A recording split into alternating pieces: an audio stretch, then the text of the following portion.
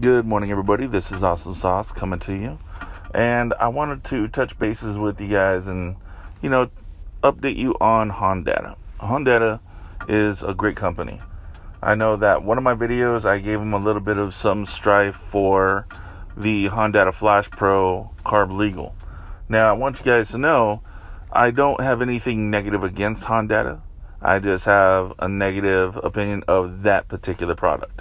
As a matter of fact, Hondata has been very fabulous in helping me with a lot of things. They have no issues with answering emails. They have no issues with me calling into their uh, tech support and helping me out with information.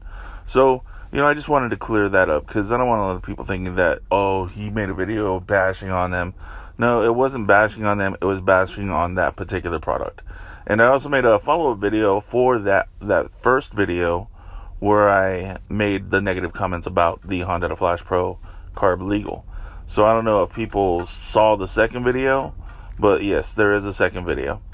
So, anyways, what I wanted to talk to you about today was the Hondata Flash Pro E85 Tune Kit. Now, that is going to be something fabulous. That's what I'm going to be working on next.